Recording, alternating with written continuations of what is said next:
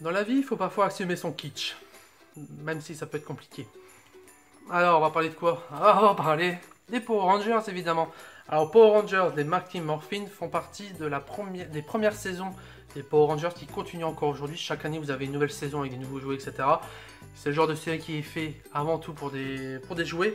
Alors, la petite, euh, la petite chose à savoir, ce qu'il faut savoir, c'est que la version américaine, en fait, est basée sur les versions japonaises. Euh, en fait, euh, les, producteurs américains reprennent les scènes de combat euh, japonais, donc avec les costumes, et toutes les scènes où on voit les, héros dans la vie de tous les jours, en fait, ils remplacent les, acteurs, les scènes avec les acteurs japonais par les scènes avec les acteurs américains. Donc en fait, les scènes de combat, simplement, voilà, les scènes japonaises. C'est pour ça que dans la série originale, la première saison, vous avez peut-être pu vous demander ben, pourquoi le Ranger jaune a, pas de jupe alors que le Ranger rose, lui, c'est tout simplement que dans la version euh, originale euh, japonaise, ben, le Ranger euh, jaune est incarné par un acteur japonais, un homme.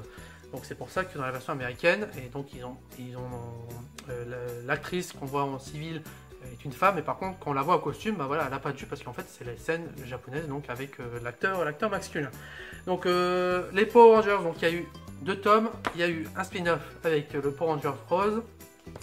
Si vous connaissez les Power Rangers, si vous avez grandi avec cette série-là qui est à début des années 90, euh, vous allez retrouver tout le côté un peu kitsch de, la série avec les Megazords, des Rangers, etc. Sauf que c'est. Il n'y a pas, y a pas les, fermetures éclairs derrière les costumes, etc. Il n'y a pas le côté carton-pâte.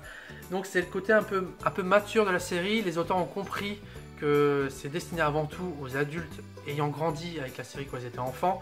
Euh, même si les enfants peuvent également aimer, même s'ils ne sont pas habitués euh, aux premières saisons, notamment avec le Ranger vert, ils risquent d'être un, peu, un poil perdu au début, euh, mais finalement on arrive facilement à raccrocher les, wagons. Donc c'est voilà, euh, une excellente série, très fun, euh, de combat avec les Sentai, avec les, robots géants, les monstres, le Ranger vert qui est tout simplement le meilleur Ranger, hein, tout simplement, il n'y a, pas, a pas à discuter.